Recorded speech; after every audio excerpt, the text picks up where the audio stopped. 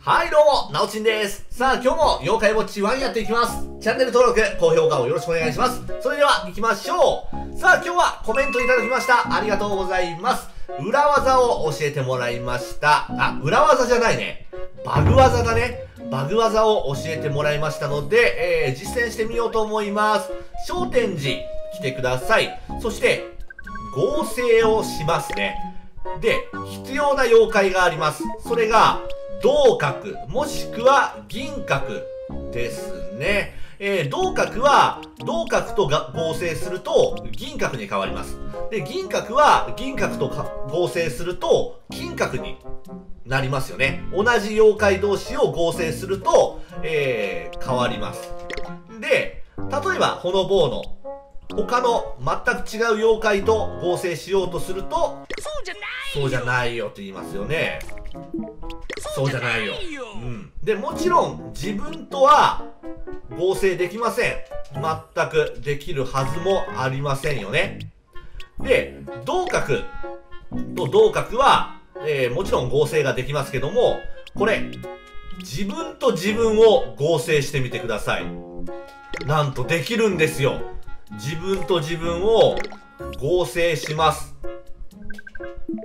そうすると、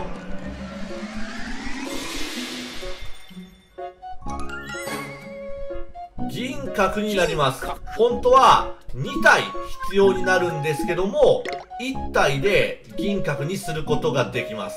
ただし、これバグ技ですので、えー、今の画面では合成できたように見えるんですけども、実際のところ、銀閣はいません。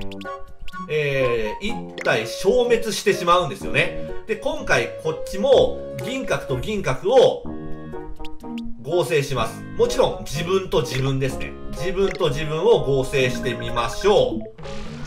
そうすると先ほどと同じく金閣にはこの画面でなるんですけどもこっちには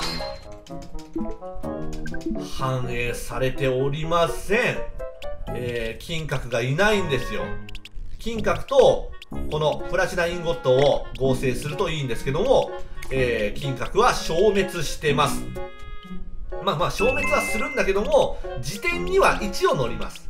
辞典には1を乗る。なので、えー、プラチナ角を野良でゲットした人は、えー、これでやるとちょっとお得になるかもしれません。はい。まあまあ、消えてしまいますので、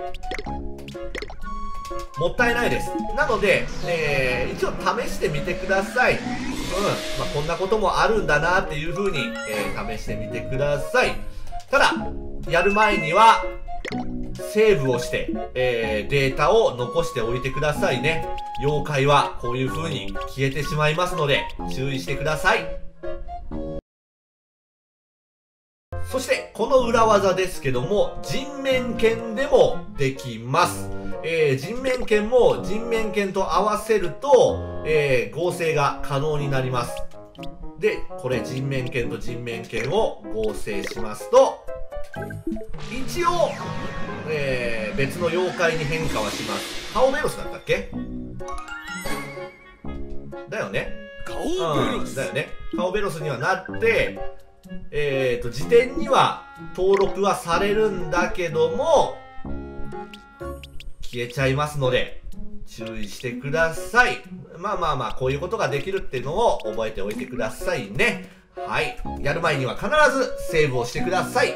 では、またやっていきます。チェックをよろしくお願いします。そして、チャンネル登録と高評価もよろしくお願いします。それではご視聴ありがとうございました。